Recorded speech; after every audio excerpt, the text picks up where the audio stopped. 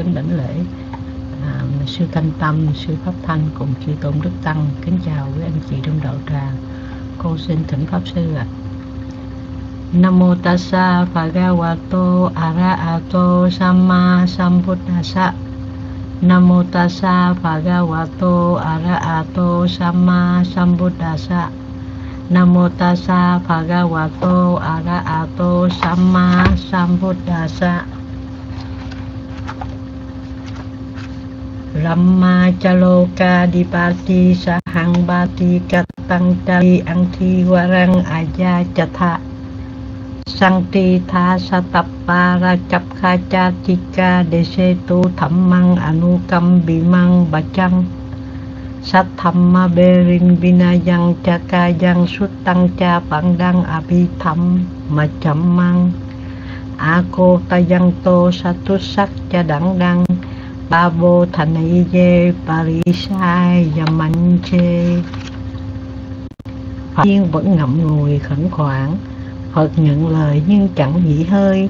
Biết lòng mở đạo dạy đời.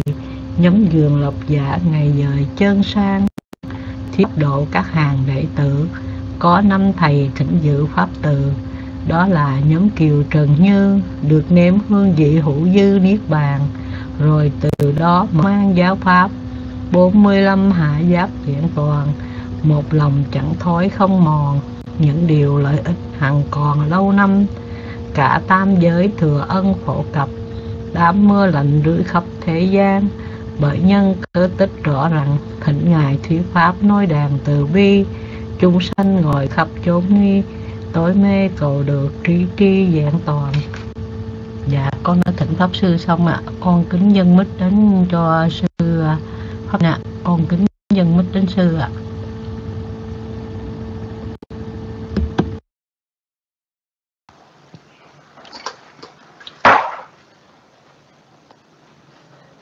Nam mô bút tha giá nam mô tham ma giá nam mô sanh ca giá. À, kính đỉnh lễ đồng đức trưởng lão chư hòa thượng chư thượng tọa chư đại đức tăng. À, kính chào quý tu nữ và tất cả quý phật tử. Và cảm ơn cô trần đạo. Và hôm nay à, chúng ta học tới à, câu thứ 72 tà mạng đệ tử. Dạ, bây giờ thì xin uh, đọc bằng chánh kinh và sau đó sẽ um, à, giải thích về cái lời dạy của Đức Phật.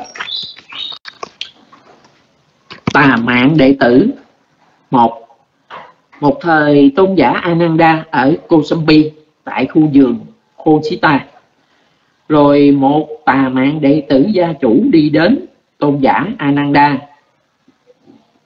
Sau khi đi đến, đảnh lễ tôn giả Ananda rồi ngồi xuống một bên. Ngồi xuống một bên, tà mạng đệ tử gia chủ nói với tôn giả Ananda. Thưa tôn giả, pháp của những ai được khéo thuyết, những ai hành trì ở đời, những ai khéo vượt qua ở đời vậy này gia chủ, về vấn đề này ta sẽ hỏi ngươi. Ngươi tham nhẫn thế nào? Hãy trả lời như vậy. Nhà ngươi nghĩ thế nào này gia chủ? Những ai thuyết pháp để đoạn tận tham, thuyết pháp để đoạn tận sân, thuyết pháp để đoạn tận si, pháp có được các vị ấy khéo thuyết hay không? Hay ở đây ngươi nghĩ thế nào? Thưa tôn giả, ai thuyết pháp để đoạn tham thuyết pháp để đoạn sân, thuyết pháp để đoạn si. Pháp được vị ấy khéo thuyết, và ở đây tôi nghĩ như vậy. Hai, nhà ngươi nghĩ thế nào này gia chủ? Dẫn ai thực hành đoạn tham, thực hành đoạn sân, thực hành đoạn si? Những vị ấy có khéo thực hành ở đời hay không? Hay ở đây ngươi nghĩ thế nào? Thưa tôn giả những ai thực hành đoạn tham thực hành đoạn sân, thực hành đoạn si. Những vị ấy khéo thực hành. Ở đời và ở đây, tôi nghĩ như vậy. Nhà ngươi nghĩ thế nào, này gia chủ, với những ai tham được đoạn tận, cắt đứt từng gốc rễ? Làm cho như thân cây ta la, làm không thể hiện hữu, làm cho không thể sanh khởi trong tương lai. Với những ai sân được đoạn tận với những ai si được đoạn tận cắt đứt từ gốc rễ làm cho, như cây thân cây ta la làm cho không thể hiện hữu, không thể sanh khởi. Trong tương lai, những vị ấy khéo vượt qua ở đời hay không? Hay ở đây người nghĩ thế nào? Thưa tôn giả, với những ai tham được đoạn tận, những ai sân được đoạn tận, những ai si được đoạn tận cắt đứt từ gốc rễ làm cho như thân cây ta la, không thể hiện hữu, làm cho không thể sanh khởi trong tương lai. Những vị ấy khéo vượt qua ở đời. Và ở đây tôi nghĩ như vậy. Bốn. Như vậy nhà ngươi đời như sau. Thưa tôn giả, những ai thiếu pháp để đoạn tham thiếu pháp để đoạn sân thiếu pháp để đoạn si, pháp được các vị ấy khéo thuyết giảng và ngươi đã rời như sau. Thưa tôn giả, những ai thực hành đoạn tận tham, đoạn tận sân, đoạn tận si, những vị ấy đã khéo thực hành ở đời. Và ngươi đã trả lời như sau. Thưa tôn giả, những ai đã đoạn tận tham, cắt đứt từ gốc rễ, làm cho như thân cây ta không còn hiện hữu, không thể sanh khởi trong tương lai. Những ai đoạn tận sân, đoạn tận si làm cho không thể sanh khởi trong lưng lai những gì ấy khéo vượt qua ở đời. Thật diệu thai, thưa tôn giả. Thật thi hữu thai, thưa tôn giả. Ở đây sẽ không có tự khen pháp của mình, không có chê pháp của người khác. Chỉ có thuyết pháp trong giới xứ chỉ nói đến mục đích và không đề cập đến tự ngã năm. Thưa tôn giả Ananda, tôn giả thuyết pháp để đoạn tham thuyết pháp để đoạn sân thuyết pháp để đoạn si. Và thưa tôn giả Ananda, tôn giả thực hành đoạn tham, đoạn sân, đoạn si. Tôn giả đã khéo thực hành ở đời, thưa tôn giả Ananda. Tham đã được tôn giả đoạn tận, cắt đứt từ gốc rễ.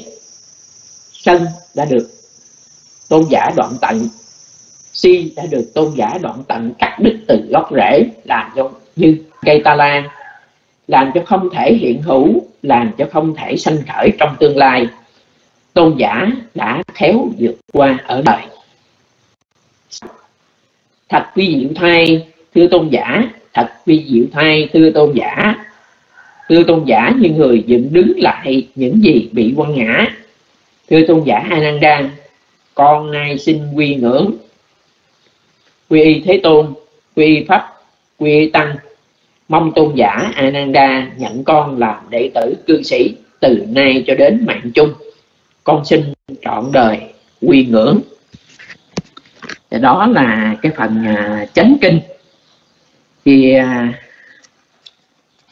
ở đây giải thích thì à, có một cái vị cư sĩ tại gia mà vị này ở đây gọi là tà mạng đệ tử tức là cái vị này có lẽ là có một cái nghề nghiệp à, và cái sự nuôi mạng không có chân chất à, nên à, được gọi là bà mạng đệ tử.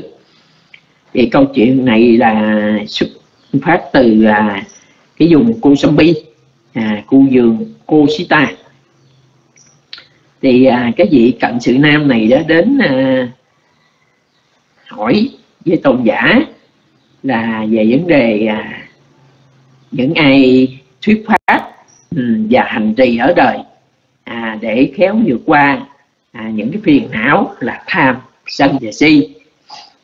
Thì à,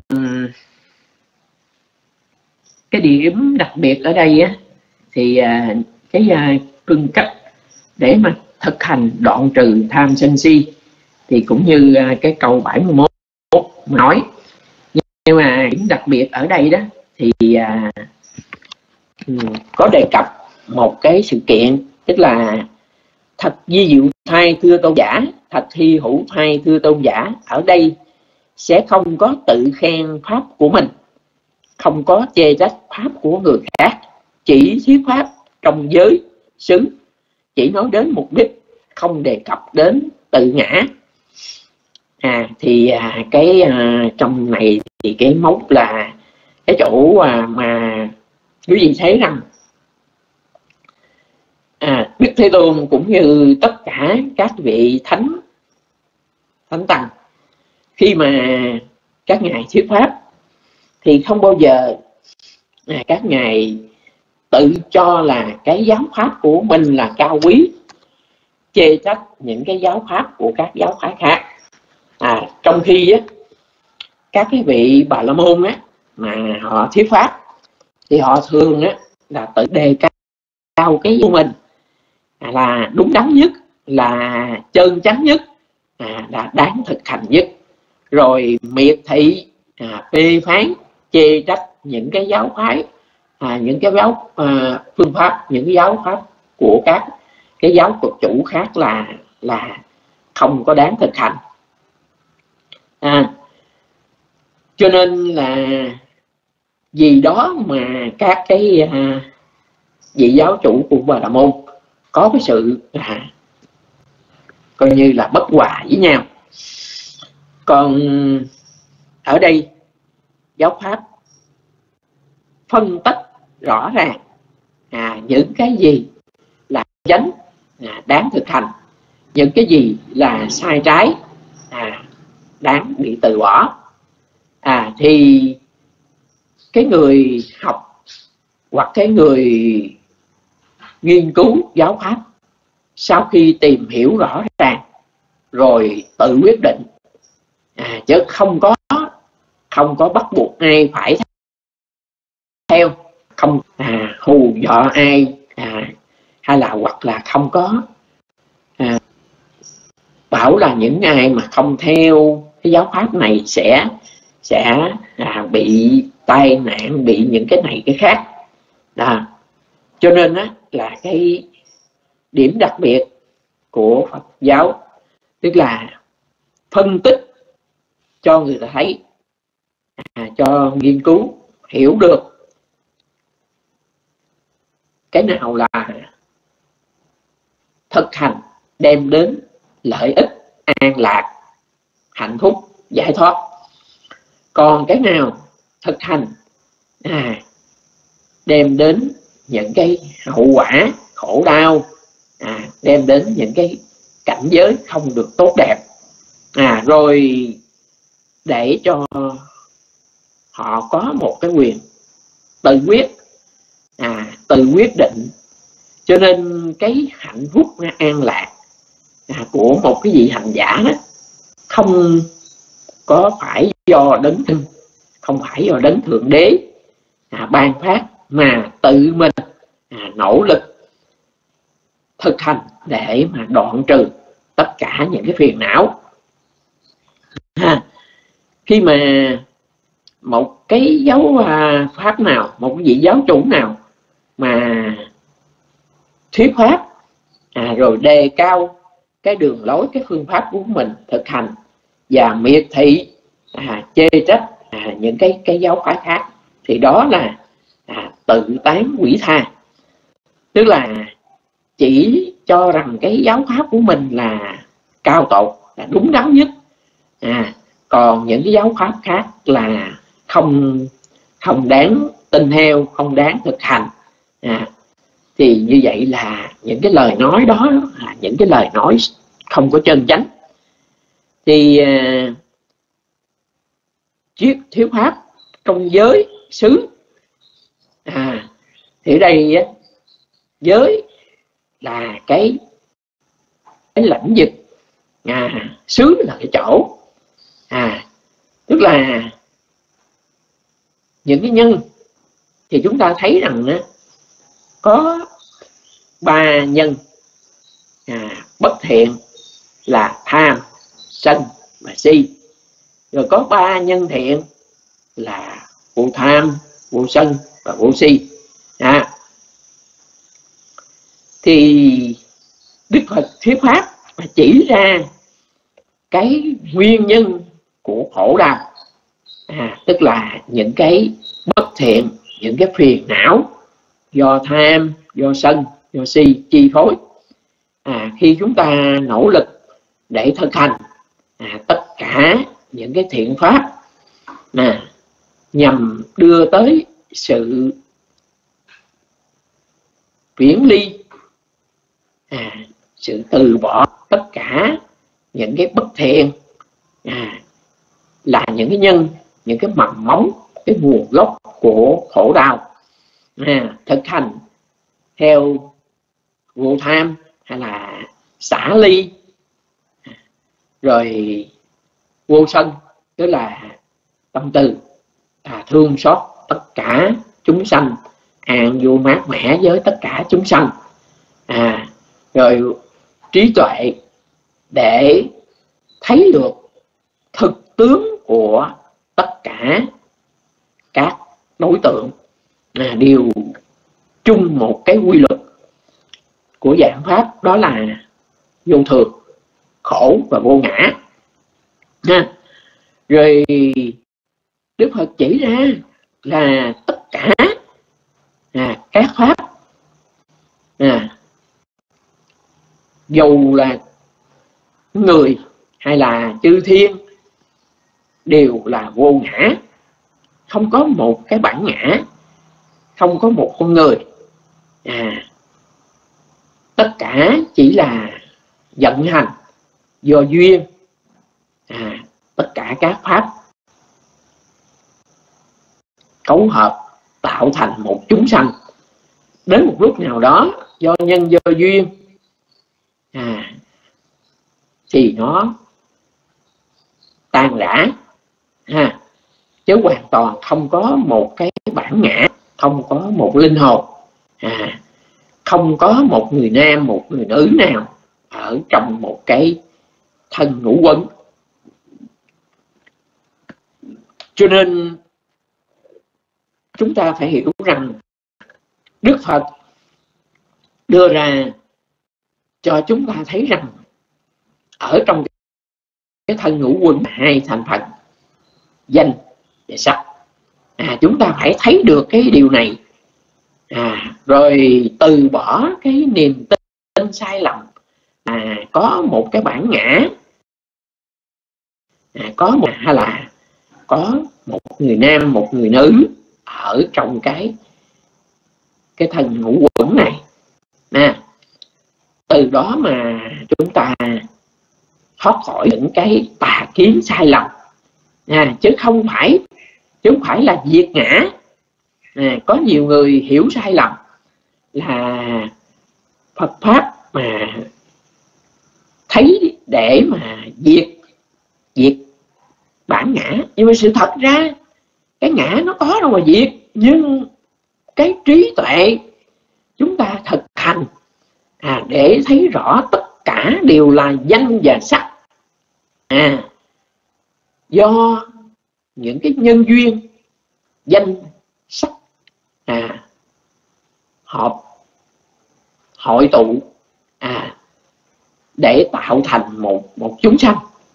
Nè chứ hoàn toàn không có một cái một cái bản ngã. Nè chính vì chúng ta vô minh tà kiến à, cho rằng à, có một con người có một người nam một người nữ à, cái sắc thì nó bị tiêu hoại nhưng mà cái linh hồn thì nó trường tồn bất biến. À, rồi chúng ta bám chấp vào cái cái tự ngã à, mắt của tôi. À, thân là của tôi.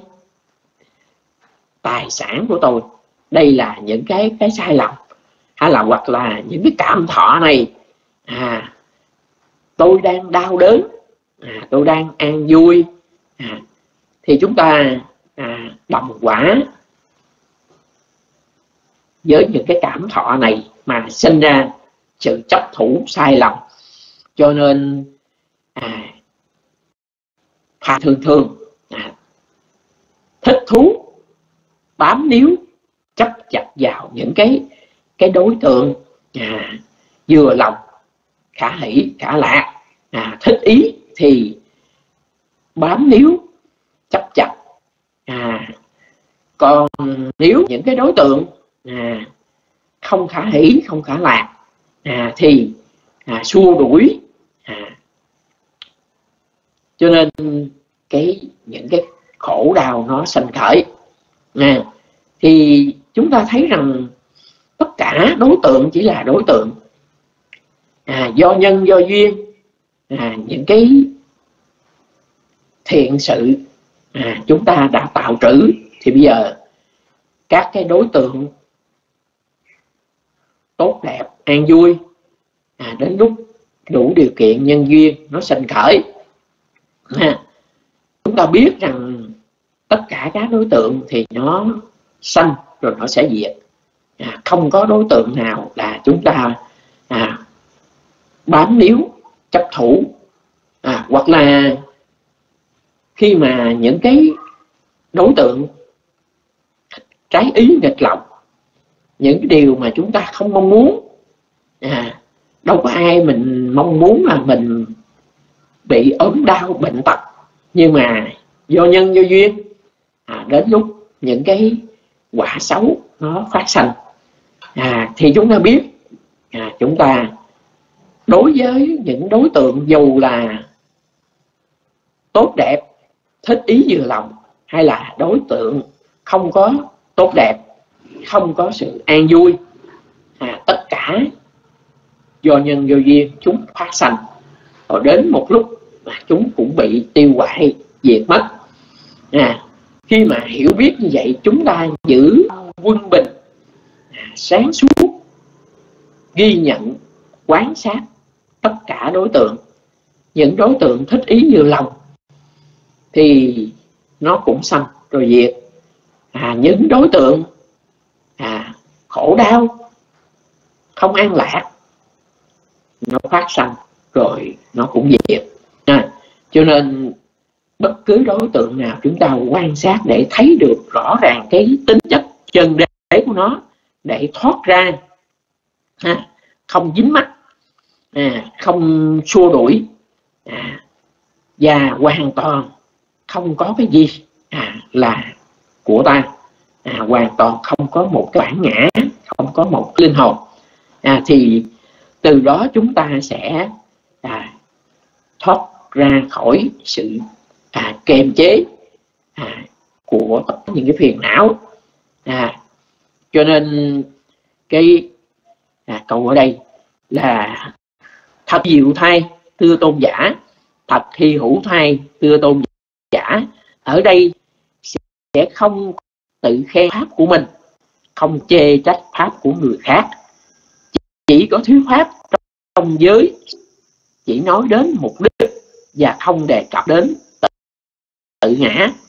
Chính vì đưa ra cái phương pháp đúng chân lý. À cho nên những cái lời dạy của Đức Phật à, cách này hơn 2.600 năm. À, nhưng mà đến cái thời kỳ hiện tại này à, chúng ta áp dụng vẫn còn à, hiệu lực gì á? Đức Phật thuyết pháp đúng chân lý. À,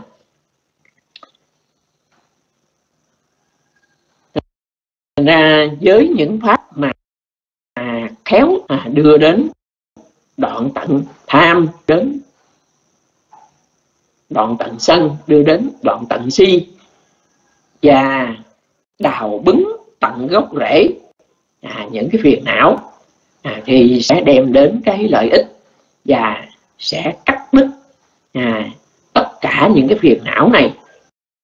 Giống như là cây ta lan hay là quý vị thấy rằng à, những cái cây này giống như là cây à, cây dừa cây cao à, là cây à, cây cọ những cái cây mà cái thân nó nó không có cành nhánh à nó chỉ có cái ngọn thôi. Nhưng mà một khi mà nó đã bị đứt cái ngọn rồi à như là cây dừa cây cao à khi mà nó bị đứt ngọn rồi đó thì nó không thể sống được nữa. À, hoặc là những cái loại cây à, nó có cành nhánh nhưng mà nếu mà à, chúng ta muốn à, diệt trừ nó bằng cách là đào bứng à, tất cả những cái gốc rễ. Cái quan trọng nhất là cái cái rễ cái rễ chính cái rễ cọc của nó đó. Thì cái cây này sẽ sẽ bị diệt diệt hoàn toàn.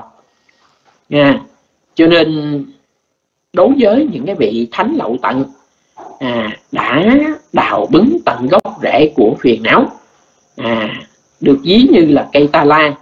À, trong kinh thường hay đức phật được ví như là cái cây ta la à, đã bị à, chặt ngọn đã bị đào bứng tận gốc rễ sẽ không còn tái xanh không còn mọc trở lại không có thể hiện hữu trở lại.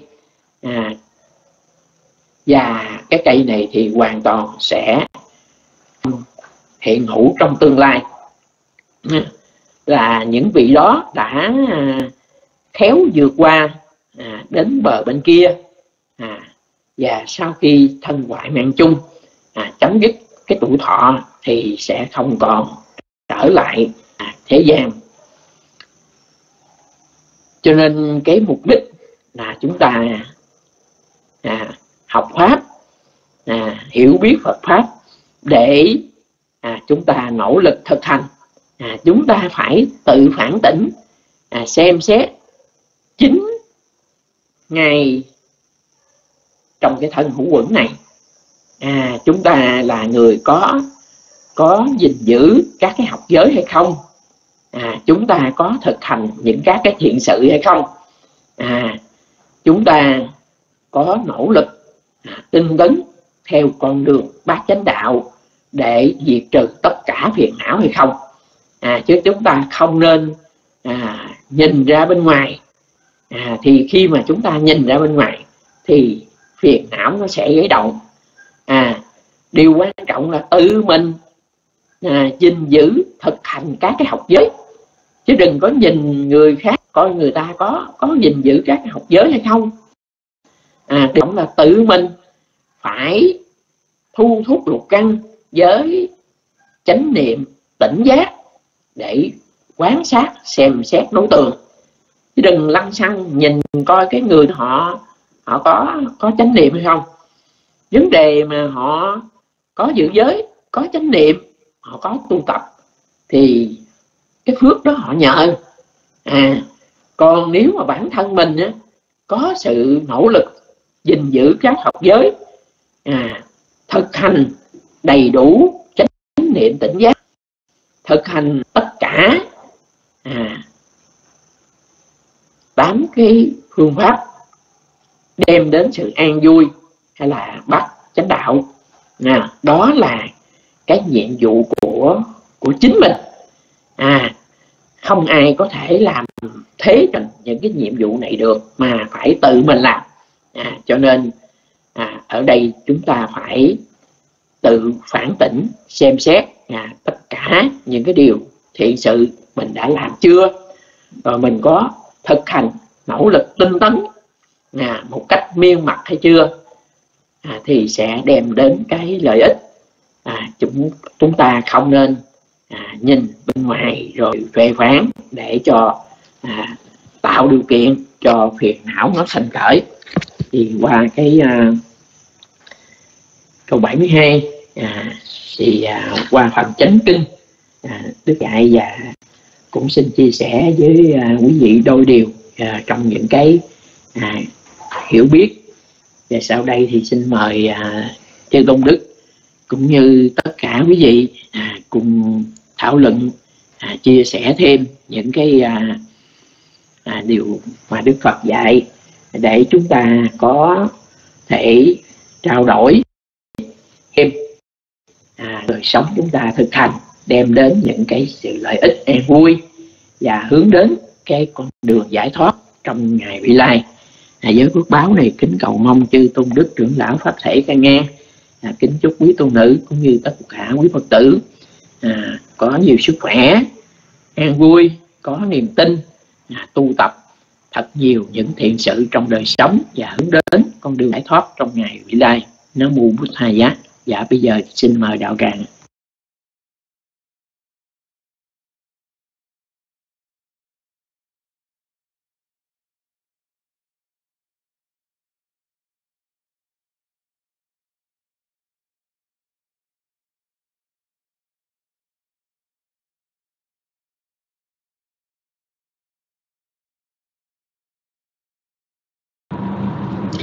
mô Bích thai giá. Nắc mô tham mai giá. Nắc mô giá. Và con xin kính đảnh lễ sư Thanh Tâm. Và con lễ sư Phổ Pháp Thanh. Và con xin kính chào toàn thể đạo tràng. À, và bây giờ à, xin thay mặt đạo tràng Kính tri ân sư Pháp Thanh đã giảng dạy cho chúng con bài học của ngày hôm nay. À, Dạ bạch sư à, Nguyên Như có một cái ờ, thắc mắc khi mà trong việc học Pháp của mình đó bạch sư. À, con cứ nghe chư tăng giảng về cái à, 10 10 thiện nghiệp tức là à, thập thiện. Thập thiện thì nó ngược lại với lại thập ác. Còn cái 10 cái điều phước thiện nữa là à, bố thí trì giới cung kính tu tiến đó bạch sư là hai cái đó nó khác nhau um, mà có con biết có là nhiều phật tử họ hay lộn qua lộn lại từ cái hai đó cũng là thiện nghiệp mà hai đó cũng đều có số 10 đó sư dạ xin sư có thể giảng qua sơ cho chúng con để chúng con nhớ lại bài học bạch sư dạ con xin nhân mít lại cho sư ạ à.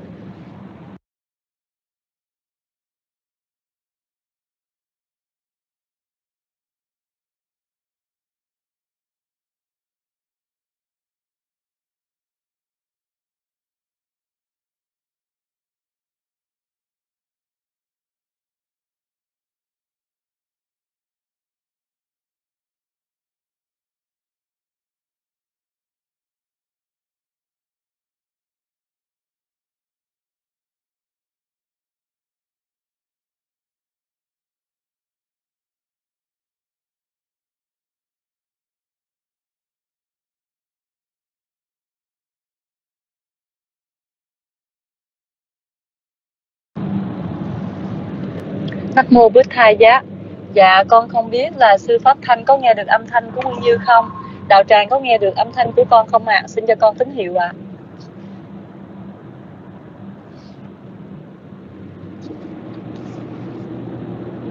Dạ con không biết sư Pháp Thanh có mặt trước máy không, bạch sư Dạ dạ con xin nhân đích lại cho sư Pháp Thanh ạ à.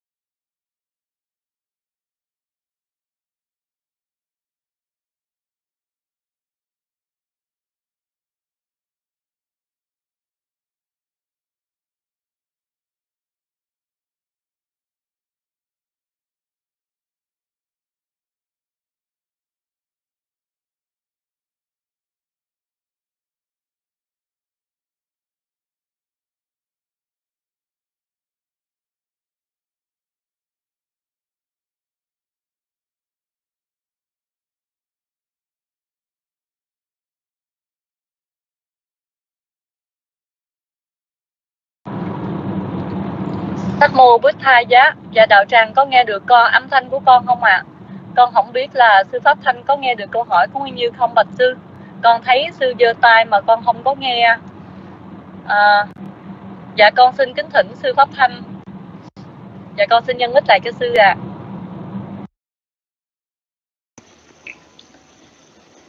Nam mô Bụt Thầy Giá thì um, cái thường thường đó là cái uh, thập thiện hay là à, thập hạnh phúc. Nó là những cái à, để mà chúng ta tạo được những cái à, nhân lành. Thì tùy theo à, tùy theo. Có khi gọi là là thập thiện hay là hay là thập hạnh phúc. À, thì à, như là bố thí trì giới à, cung kính phục vụ à, thính pháp thuyết pháp tu tiến. À, thì tùy theo à chứ còn à, có tùy theo có mỗi vị à, giảng nhưng tất cả những cái cái à, những cái pháp này đó là nó là những cái nhân. À, đây là những cái điều, điều quan trọng lành để à, đem đến những cái à, đời sống tốt đẹp. Như là bố thí trì giới à, tu tiến cung kính phục vụ rồi à, tạo phước hồi hướng phước à, tùy hỷ phước tính pháp hiếu pháp à, cải chân kiến. À, thì à, tùy theo điều kiện tùy theo cái à, à, các cái vị à, thực à, sử dụng những cái ngôn từ. Ví dụ như gọi 10 phút hành tâm à, thập hạnh hay là à, thập phước gì đó. Thì tùy theo ờ, mỗi vị giảng sư người ta sử dụng mỗi cái cái ngôn từ. Nhưng mà nếu mà những cái chi pháp đó những chi pháp giống nhau à, thì đây là những cái nhân kỹ nhân lành những cái dân thiện tốt đẹp. À, thì nó nó giống nhau thôi. À, có đôi khi là nó có thể à, khác nhau một cái dạng từ nhưng mà điều cái quan trọng là nếu mà cái nhân những cái nhân thực thành nó giống nhau thì sẽ đem đến cái cái cái lợi ích cái sự an vui. À chứ chúng ta đừng có uh, nên mà à, so sánh à, tại sao là cái có gì thì gọi là à, phúc hành tâm à, rồi có vị gọi là thập thiện à, có vị gọi là thập hạnh phúc thì à, một tùy theo tùy theo mỗi vị ờ, cái ý, ý thích. À, sử dụng những cái ngôn từ. À, rồi có những cái ngôn từ nó hán việt nó hơi lạ lạ. À, thí dụ như ờ, phúc hành tông à, hoặc là thập thập thiện à, hay là hoặc là à, thập hạnh phúc gì đó. Thành ra là tùy theo thôi chứ còn á, các cái chi pháp thì nó nó vẫn giống nhau. À, thì cũng xin ờ, giải đáp cái thắc mắc của Nguyên Như dạ. Chúc cô mà khỏe mạnh an vui. Nó mô bút thầy giá Nắc mô Bích Thai Giá Dạ con Bạch Sư Cái câu hỏi của con á Là cái chỗ có thập thiện á Thì con thấy 10 chi pháp nó hoàn toàn khác đó Sư. Là cái chỗ mà thân tam khẩu tứ ý tam đó Không sắc sanh trộm cắp tà dâm Rồi nói um, nói dối Nói hai lưỡi Nói lời thư dệt Nói lời phóng dật đó Sư rồi à, cái chỗ à, cái ý tam là à, không có tham độc không sân hận và không có um, và không có tránh tri ờ, tránh tri kiến hoặc là là tà kiến. Thì cái chỗ đó đó là, là thập ác thì ngược lại. Mấy cái đó là thập thiện thì nó lại không giống cái chỗ mà bố thí trì giới cung kính đó sư thành ra con thấy uh, có có nhiều vị phật tử hỏi con là hai cái thập thiện nó khác nhau chỗ nào thành ra con mới con đi dò trong sách con thấy một cái á, thì kêu là thập thiện còn một cái là kêu là thập phước còn nếu vậy nếu như sư nói giống vậy là cả hai đều gọi là thập thiện cũng đều được ha bà sư dạ con có thắc mắc cái chỗ đó đó sư tụi con thấy chi pháp nó khác dạ con xin uh, sư giải thích cho nguyên như chỗ đó để con giải thích lại cho bạn con ạ à. dạ con xin dân mít lại cho sư ạ à. À sư hiểu cái ý của cô rồi. Cái mà thập thiện mà cô cô nói đó là nó đề cập về cái cái đó là về cái phần giới không? À thí dụ như là à, thân thì có ba. À, khẩu có ba và ý thì có bốn. Ở đây là nó chỉ về những cái cái thiện mà trong cái chỉ là cái trong cái phần giới thôi. Còn cái mà à, như vậy thì nghĩa nó cái cái mà mà thập mà hạnh phúc này đó hay là 10 phút thành tâm hay là à, thập thiện đó thì cái này thập thiện này nó khác là bố thí trì giới tu tiến cung kính phục vụ rồi à, tạo phước hồi hướng phước à, tùy hỷ phước thính pháp thiếu pháp cải chánh tri kiến. Thì cái này á, là nó thuộc về á, là những cái nhân để đem đến cái à, cái đời sống tốt đẹp à, trong hiện tại và ngày vị lai. Còn cái kia đó cái thập thiện kia đó thì nó chỉ về những cái cái về thân khẩu ý nhưng mà nó thuộc về về giới. À, hay là là là về giới thân. À tức là không sát sanh không trộm cắp không tà dâm không nói dối không uống rượu à rồi không nói ác không suy nghĩ ác tức là nói về à, tức là thân khẩu ý nó, nó ba cái. À, thì mỗi cái thì nó khác nhau. Ví dụ như cái 10 cái đó đó là chúng ta gìn giữ trên cái cái phần giới của mình à, tránh xa những cái bất thiện à, tránh xa về cái gìn giữ về cái, cái giới à, hay là tránh ngữ tránh nghiệp à,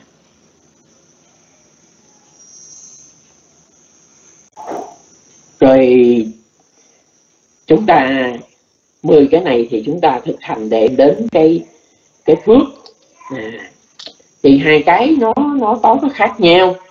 À thí dụ cái kia thì chúng ta à, không không sát sanh à, không trộm cắp không tà dâm rồi không nói dối à, không nói đâm thọc không nói à, lời à, tà ngữ không nói ác à, không suy nghĩ ác à, không sân ác tham ác suy nghĩ à, đó thì cái đó là thuộc về cái à, cái phần về à, thập thiện nhưng mà về giới à, còn cái này là thập à, thập hạnh phúc à, à, thập à, phúc hành tông. À, thập thiện thì nó cũng có trùng nó trùng cái à, cái chữ nhưng mà về cái chi pháp thì nó khác nhau. Còn hai kia nó thập ác à, là những cái pháp mà chúng ta biết để chúng ta từ bỏ đoạn trừ tránh xa. Còn cái thập thiện thì chúng ta sẽ thực hành theo còn này thì chúng ta thực hành để đem đến à, những cái lợi ích tốt đẹp à, những cái nhân lành à, để đem đến cái một cái đời sống hiện tại được an vui và hướng đến những cái công hạnh để đời sống tương lai được đi đến những cảnh giới tốt đẹp an vui. Nó mô bút thai vậy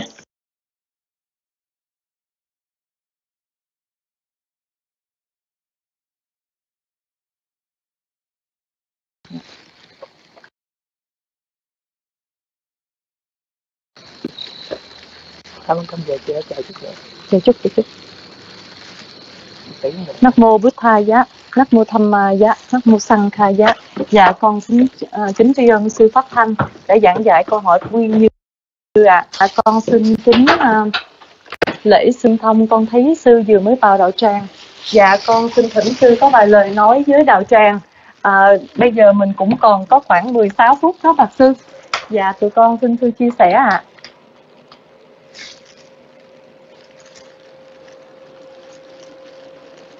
Dạ con xin nhân bích lại cho sư Nguyên Thông bạch sư.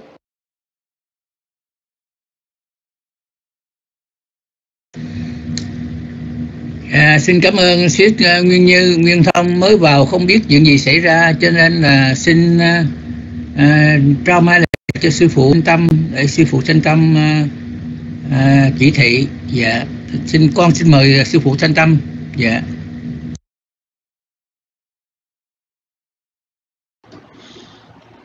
À, dạ mô Phật. À, trước hết con xin kính lễ à, chư tôn đức. À, tăng kính chào quý cô à, quý Phật tử. Dạ thưa sư Nguyên Thông hôm nay à, thì theo Nguyên Thông à, trình bày à, pháp à, khổ đó là tham sân si và con đường thoát khổ. Đó là bát chánh đạo. Ừ. rồi à, Nguyên Như hỏi về cái sự mà 10 cái thập thiện và cái ờ, thập phúc hành tông.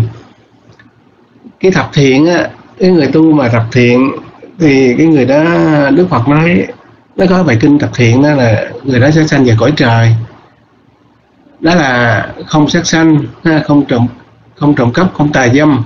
Đó là thân thân có ba khẩu, có bốn. Ờ, không nói dối à, không nói lời ác độc không nói lời chia rẽ không nói lời vô ích. À, bốn là bảy phải không? À, ý nó có ba. Đó là giữ tâm ý nó không tham không sân không si. Đó là là thập thiện. Đó trong kinh thập thiện đức phật dạy người nào mà tu 10 cái pháp này đó thì khi à, thâu hỏi mạng chung á, thì được sanh về cõi trời ha. Ừ, cõi có có phước cái thứ hai là thập phúc hành tông tức là 10 cái, cái người nào mà làm 10 cái điều này đó thì nó tạo ra phúc. Nó tạo ra phúc đưa đến ờ, ờ, đưa đến an vui giải thoát đó. Ờ, cái thứ nhất đó, đó là bố thí. Thứ hai là trì giới. Thứ ba là tu tập. À ba pháp đầu nhớ ha bố thí giữ giới rồi tu tập.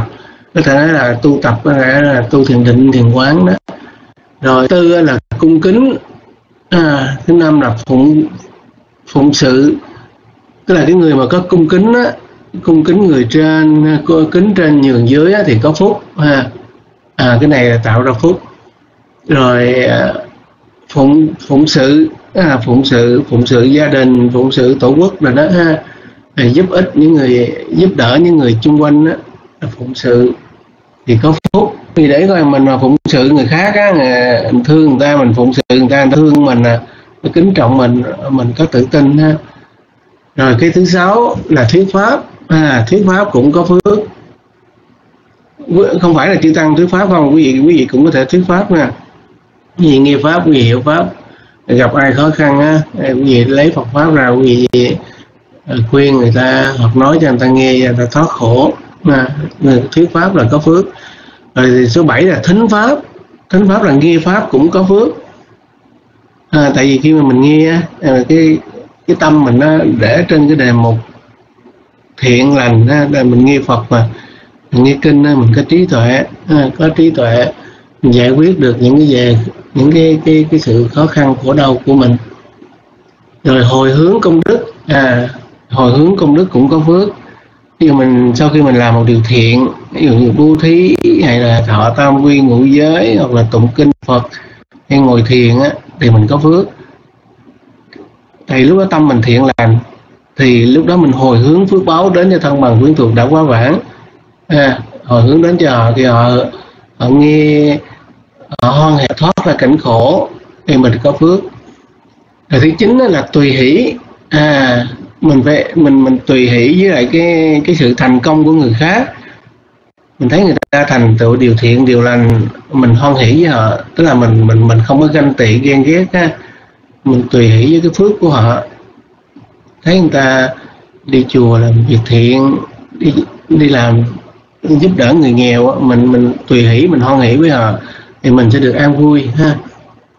Rồi cái thứ thứ mười á là là là cải tạo cải tạo cái cái cái tà kiến của mình. Tức là mình làm cho mình có chánh kiến á à, mình làm cho mình có chánh tri kiến tức là mình phải học mình phải tu. Thì đó khi mà tâm của mình mà nó có có có chánh tri kiến tức là cái người biết nhân biết quả à, biết chân lý tứ diệu đế à, đó đó là người có có có chánh tri kiến, ha, biết biết các pháp vô vi là vô thường, khổ vô ngã. Đó đó là người có chánh kiến. Cho nên cái người mà có chánh kiến họ chỉ làm những điều thiện, điều lành thôi gọi lo tu thôi. Thì thưa quý vị đó là thập phúc hành tông, gọi là 10 10 pháp mà tạo ra phúc, ha. và cái cái đấy là 10 cái cái cái cái thập thiện. Ừ thì hai cái hai cái tuy rằng cái tên nó khác nhau nhưng mà nó vẫn mục đích chính vẫn là đưa đến đưa đến thiện lành. À, được phước báo được an vui giải thoát. Yeah. nó là nền tảng của tu học. Mình nó được nhẹ nhàng không rồi dạ, thì dạ, thưa thì kheo nguyên thông thỉnh thì kheo nguyên thông chia sẻ thêm nhé. Dạ thỉnh sư ạ.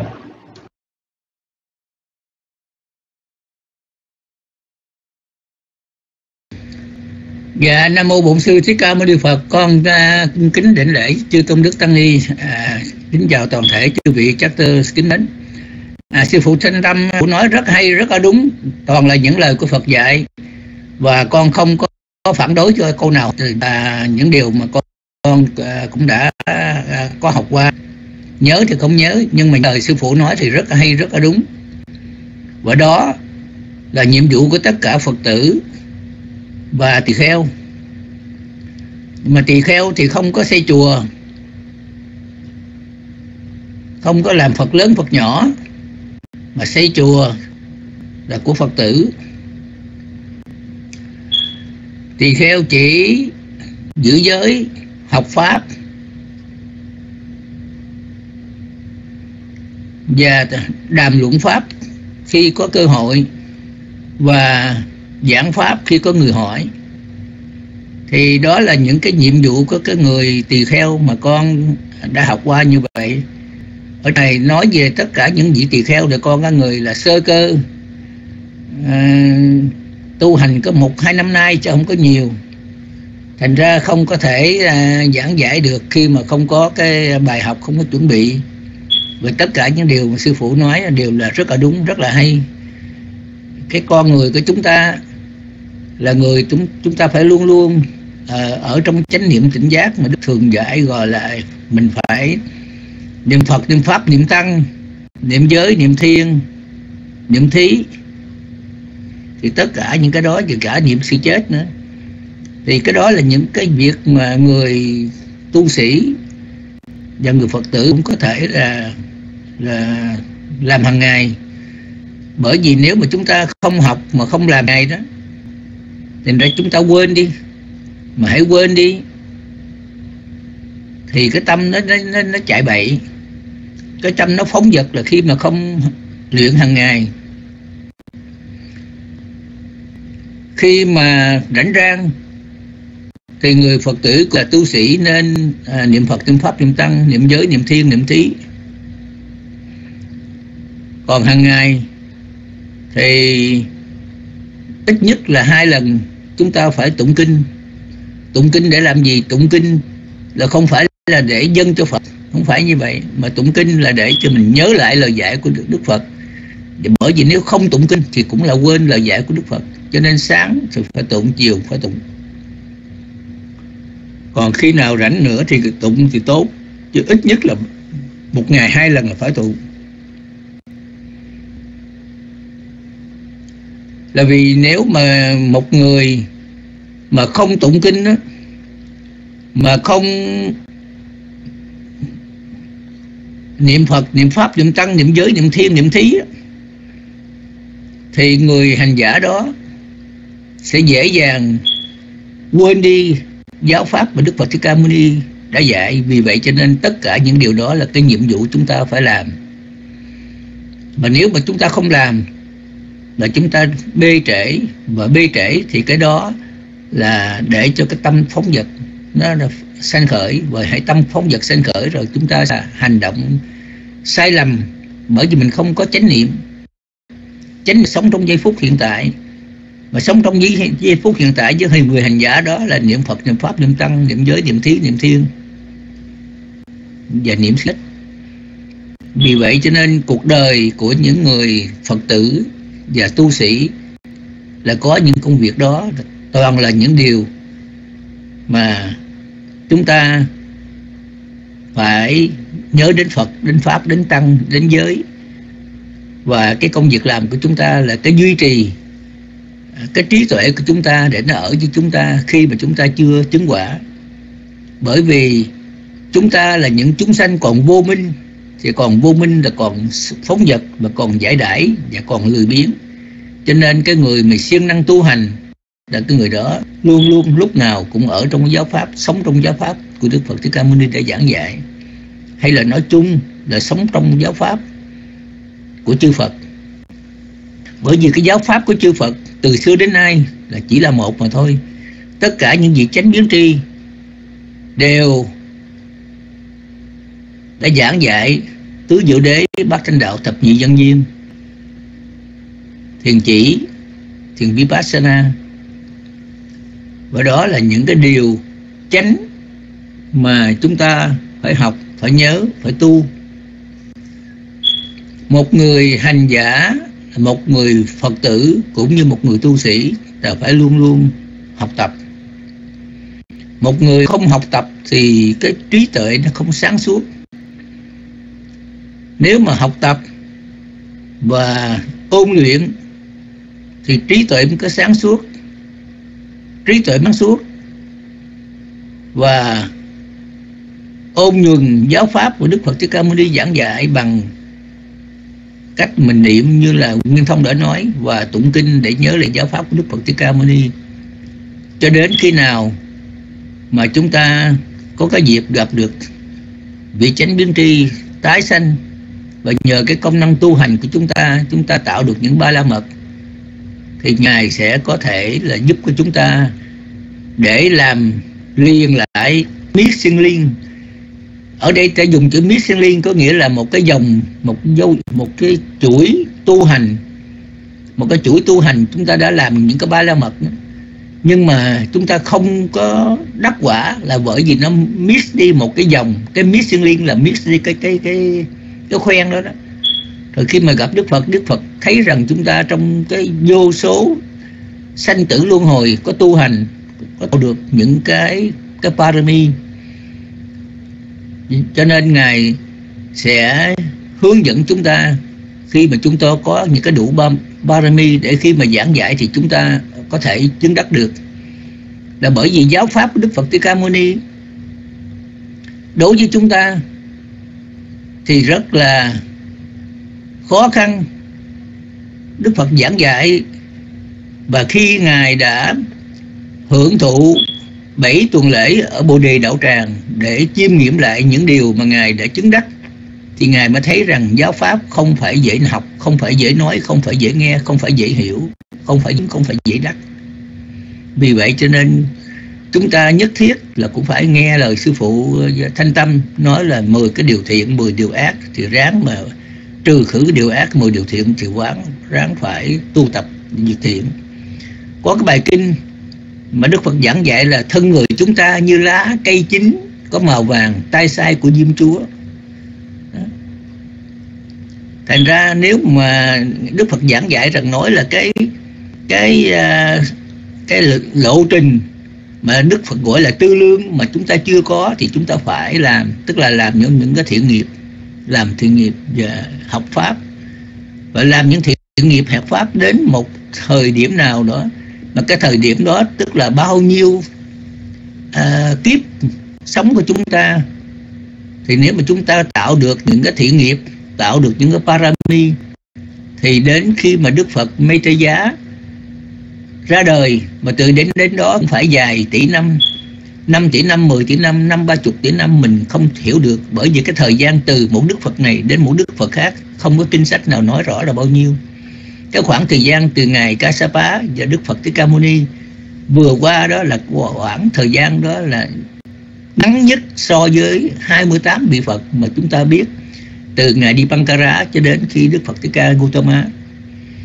Vì vậy cho nên kính thưa chư vị chúng ta phải tâm niệm rằng khi còn ở trần gian này là nhất thiết là chúng ta phải đi vào giáo pháp của Đức Phật.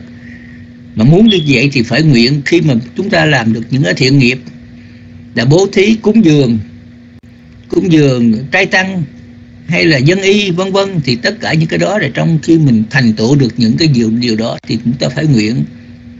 Là đời đời kiếp kiếp trong cái chuỗi dài sanh tử luân hồi là được sống trong giáo pháp của chư Phật được sống gần chùa, gặp thiện trí thức để tu hành. Thì đó là cái nguyện mà chúng ta, khi mà chưa chứng quả, chưa chứng những cái tầng thiền, thì phải nguyện như vậy. Để mà chúng ta có hy vọng là trong những cái cái kiếp sanh tử luân hồi mà chúng ta chưa chứng quả đó, thì còn sống gần chùa, còn được gặp thiện trí thức để mà tiếp tục tu hành. Bởi vì tu hành là một con đường hạnh phúc nhất tại sao? Bởi vì tu hành là mình nhiệm vụ của mình là, là phải sống đúng cái giáo pháp mà chư Phật đã giảng dạy. Thì sống đúng với giáo pháp của chư Phật giảng dạy thì ở trần gian này chúng ta sẽ an lạc. Và khi mà thân ngoại mạng chung thì sanh làm lên chẳng chư thiên là tại vì chúng ta à, ít nhất là giữ năm giới. Mà nếu giữ năm giới mà mình làm thêm có 10 thiện nghiệp nữa thì chắc chắn một trăm phần trăm là mình sẽ lên lên uh, sống với cảnh thiên. Nhưng mà lên sống với cảnh thiên đó, thưa chư vị cuộc sống rất là hạnh phúc.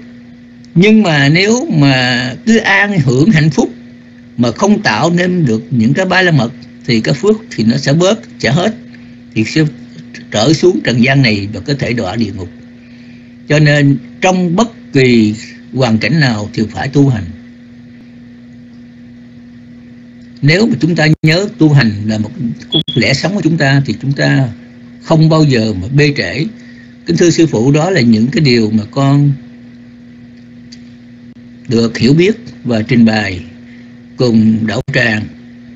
À, nếu có điều gì sư xin sư phụ sanh tâm sư phụ pháp thanh chỉ dạy thêm con vô phần à, muôn phần tri ân và xin chân thành tri ân chư vị đã lắng tai nghe nam mô bổn sư thích ca mâu ni phật. Con thỉnh mời sư phụ thanh tâm hoặc là nguyên như cầm ai. Dạ bạch sư Thanh Tâm con thấy uh, thời gian cũng còn uh, cũng hơi lố giờ. Con không biết là sư có uh, muốn cho đạo tràng có vài phút để tĩnh tâm. Con xin kính thỉnh ý sư. Và con xin chân mít lại cho sư ạ.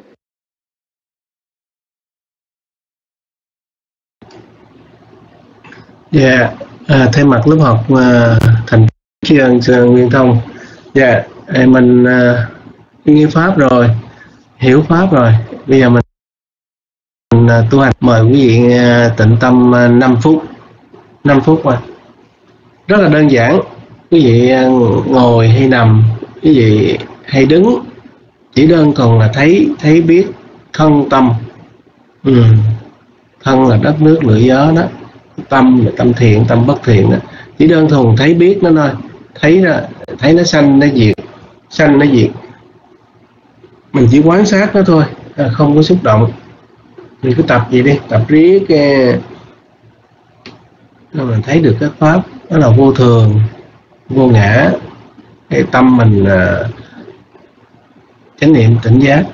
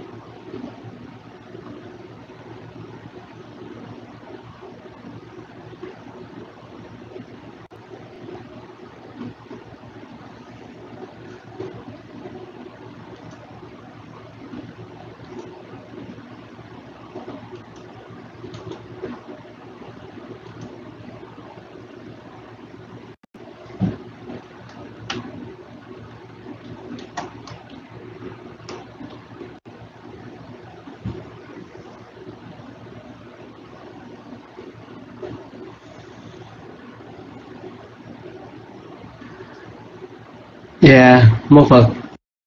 À, cậu tràng ờ, à, 5 phút tịnh tâm đã trôi qua.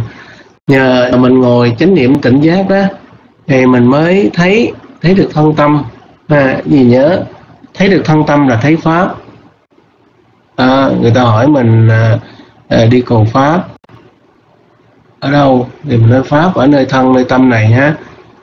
Cho nên người nào mà thấy được thân tâm tức là ngũ uẩn đó ngũ uẩn là vô thường, vô ngã đó. Thì người này tu ở đâu cũng được cả. Bất cứ lúc nào, đi chợ, nấu ăn, lái xe, ngồi thiền thiền nằm, thiền ngồi, thiền đứng, nói chuyện, lúc nào cũng là là là thấy pháp, ha. Mãi là pháp thì vô thường, khổ khổ, vô ngã. Dạ yeah. một phật à, thời gian đến đây vừa phải lẽ. Xin xin à, thay mặt đạo tràng à, sư phúc cho đạo tràng yeah cầu xin cho tất cả sự rủi ro của người đều được xa lánh. Cầu xin cho tất cả tật bệnh của người đều được dứt khỏi. Sự tai hại cũng chẳng có đến cho người. Cầu xin cho người được an vui trường thọ. Cả bốn pháp chúc mừng là sống lâu, sức đẹp, an vui, sức mạnh, hàng thêm đến người. Là người năng nghiêng mình lễ bái, cúng dường đến tam bảo và có lòng tôn kính các bậc tu hành tinh tấn, nhất là bậc trì giới và bậc trưởng lão. Tất cả hạnh phúc hằng đến cho người. Cầu xin chư thiên hộ trì đến người do nhờ oai đức của chư Phật, do nhờ oai đức của giáo pháp, do nhờ oai đức của chư tăng, các sự thạnh lợi thường thường đến người. Cầu xin cho quả của tâm tính thành bảo, cho được thành tựu mỹ mãn, cho được thành tựu mỹ mãn, cho được thành tựu mỹ mãn. Dạ, mô Phật, uh, kính thưa quý vị, uh, buổi học hôm nay đến đây vừa phải lẽ. Uh, trước khi dứt lời, uh, nguyện cầu ân tâm bảo và chư thiên gia hộ cho tất cả quý vị được an vui, khỏe mạnh, tu hành tinh tấn, mau đến nơi dạy đó nhường lại cho như chưa ạ Nắc mô Bích Thai Giá, Nắc mô Tham Ma Giá, Nắc mô Sang Khai Giá. Dạ con xin kính tri ân sư à, Thanh Tâm đã thay mặt chư tăng để chúc phúc cho đạo tràng của chúng con buổi tối hôm nay. Dạ Nguyên Như xin thông báo lại một lần nữa cho những quý vị mấy bữa nay không có vô lớp. À, ngày mai à, thì Nguyên Như kỳ viên sẽ tổ chức một buổi à, sinh nhật của lớp à, năm nay hình như Nguyên Như nhớ là nó vừa tròn 4 tuổi rồi mà sư Thanh Tâm sư chủ râm mới chính là cha đỡ đầu.